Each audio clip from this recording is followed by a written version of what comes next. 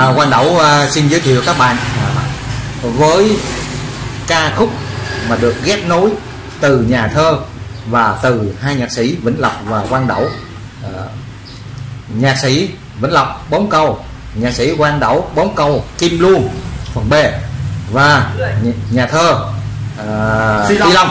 À, cũng đã ngẫu hứng với bốn câu thơ kết cho cái bài hát Valentine năm 2020 à, cho cái năm canh tí sức khỏe dồi dào đến với các bạn ngưỡng mộ cho ba anh em mình. Và dù hay hay dở các anh em mình cũng vỗ tay cho thật đồng đều. À, xin à, à, mời các bạn nghe. mình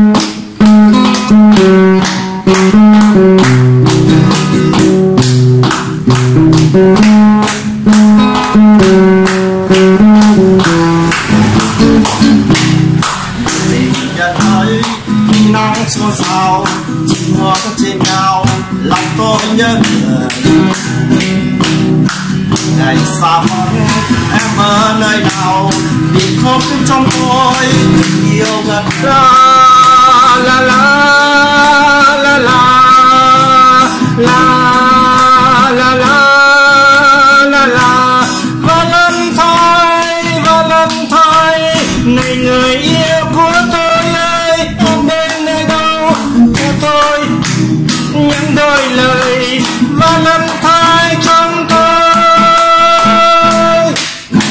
Nhận đến sẽ mãi trong nào trong ánh mắt tình yêu lắm này trong ánh mắt. Tình yêu lắm đây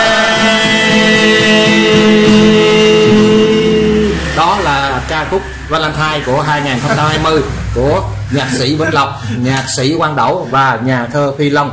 Bình Thuận Phan Thiết à, xin gửi lời chào các bạn vui một mùa ngày tình nhân 2020 xin chào.